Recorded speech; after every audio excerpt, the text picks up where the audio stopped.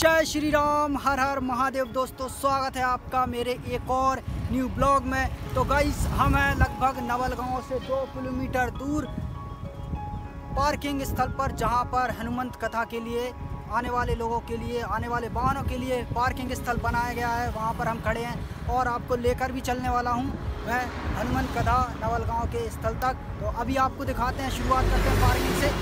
तो लगभग 12 लाख 11-12 लाख के समथिंग में जनसंख्या यहाँ पर आने वाली है लगभग पाँच दिन में तो उसके लिए लोगों के वाहनों के लिए पार्किंग स्थल बनाया गया है। तो आपको दिखाते हैं पार्किंग स्थल। ये देख सकते हो भाई, लगभग ये पूरा ही खेत जो दिख रहा है, ये पूरा गाड़ियों पार्किंग के लिए बनाया गया है। यही नहीं, इसके और भी जगह पार्किंग स्थल बनाया गया है, मेरे पीछे देख सकते हो। यहाँ पर भी देख सकते हो, ये लोग लगे हुए हैं, यहाँ पर भी पार्किंग की व्यवस्था बनाई जा रही है, ये पूरे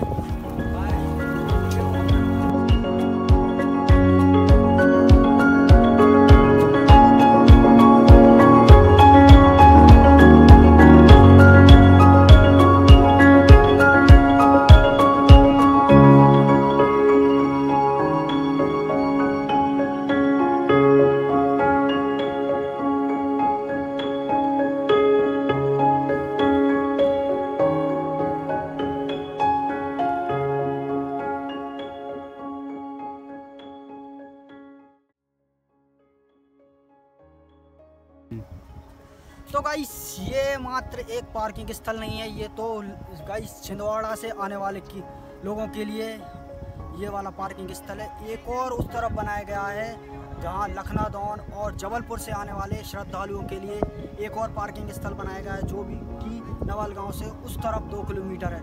वो भी दिखाएँगे आपको, लेकिन अभी लेकर चलता हूँ मैं आपको पंडाल की तरफ़, क्योंकि आज हो रखी है पाँच जून, आज हो रखा लास्ट डे पूरी व्यवस्थाओं का आज ही जो कि निरीक्षण के चलो वीडियो बनानी है हमको, मैं न्यूज़ की तरह बोल रहा हूँ। तो चलिए, अब आपको लेकर चलते हैं नवल गाँव के कथा स्थल जय जय श्री राम।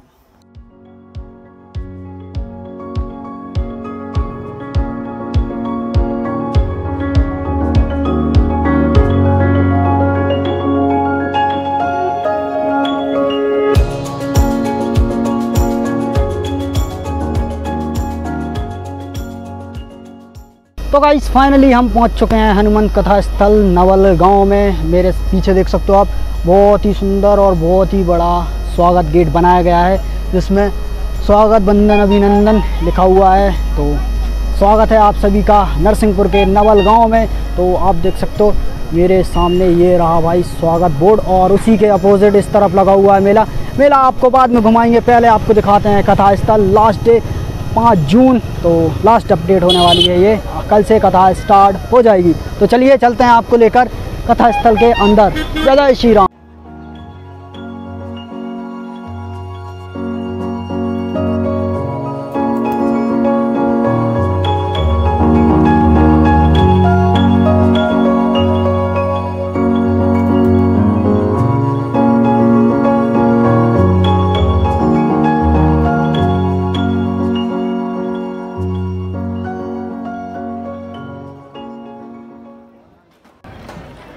तो दोस्तों, अभी हम खड़े हुए हैं मुख्य पंडाल में और मेरे पीछे देख सकते हो मंच वहाँ पर देख सकते हो, उसकी भी अभी तैयारियाँ फुल चल रही हैं। लगभग अभी थोड़ी तैयारियाँ रह गई हैं, लेकिन पूरी तैयारियाँ हो चुकी हैं।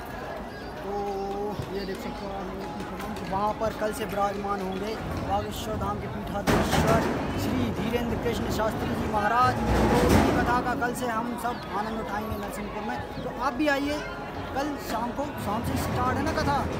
चार बजे से कथा स्टार्ट है तो आप भी आइए कथा सुबह आठ बजे कलश यात्रा में ज़रूर आइएगा। तो चलिए, अब आपको दिखाते हैं अन्नपूर्णा भंड भोजन भंडार, प्रसाद भंडार प्रसाद भंडार। तो चलिए, चलते हैं।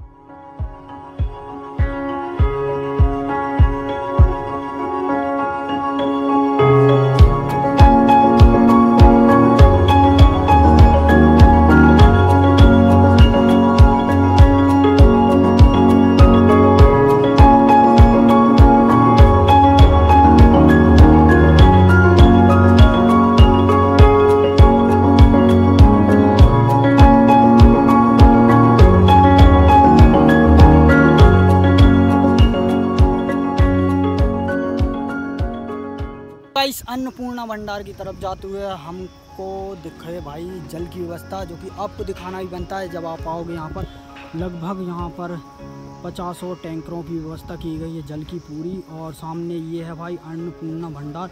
यहाँ पर लगभग पाँच दिन प्रसादी वितरण और अन्न, जो कि आने वाले श्रद्धालुओं के लिए खाने की व्यवस्था यहाँ पर की गई है।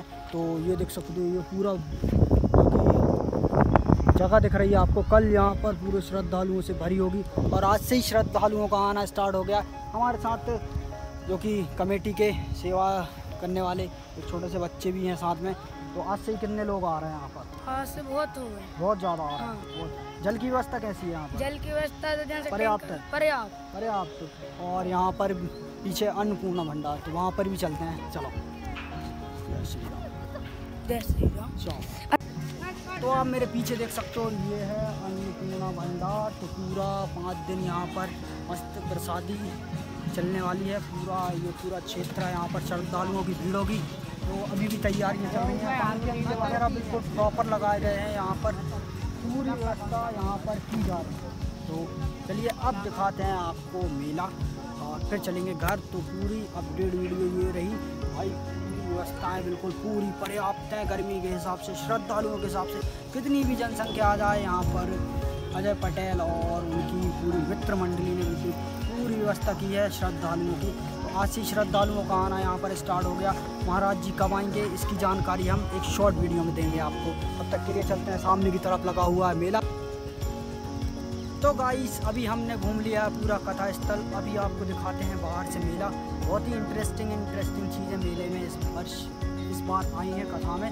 तो बाहर से दिखाते हैं, सामने मेला दिखाओ। वहाँ पर मेला।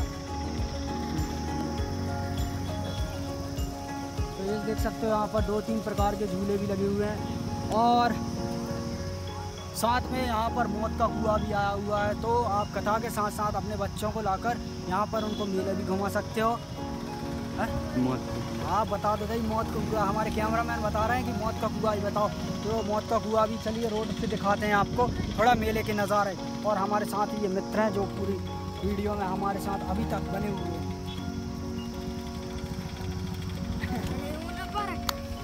ये पूरी सेवा दे रहे हैं आप यहाँ पर पूरी कथा स्थल में। चलिए बाहर से तो गाइस मेरे पीछे देख सकते हो आप यहाँ पर लगे हुए लगभग तीन झूले हैं और मौत का कुआँ भी आया हुआ है। तो आप अपने साथ अपने बच्चों को भी लेकर आ सकते हो कथा में और यहाँ पर मेला घुमा सकते हो। भिन्न भिन्न प्रकार की दुकानें, खिलौनों की दुकानें, आइसक्रीम, गन्ने का रस, चाट, पकौड़े की सब चीज़ की दुकानें आपको यहाँ पर मिलने वाली हैं। कथा के साथ साथ आपके बच्चे मेले भी घूम सकते हैं। तो चलिए अब चलते हैं घर की तरफ़। अभी मेला पूर्ण नहीं लगा हुआ है। कल परसों से मेला पूरा स्टार्ट हो जाएगा। बढ़िया सब चीज़ फिक्स हो जाएँगी। तब आपको मेला अंदर से दिखाएँगे हम। अभी चलते हैं हम घर की तरफ़। तो जय श्री राम।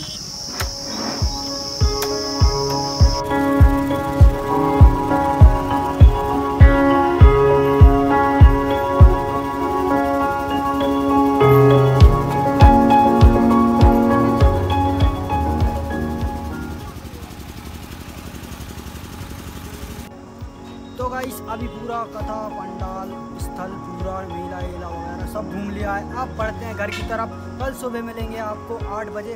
सीधा कलश यात्रा में मेरे पीछे देख सकते हो, ज़ोर शोरों से तैयारियाँ चल रही हैं। लोगों का आना जाना लगा हुआ है। तो मिलते हैं आपसे कल कलश यात्रा में और फिर इसी जगह पर आएँगे। शाम को चार बजे जब गुरु जी आएँगे दो बजे दिन में नरसिंहपुर से होते हुए तब मिलेंगे आपको। जय जय श्री राम मिलते हैं कल एक और अपडेट ब्लॉग के साथ। तब जय श्री राम हर हर महादेव।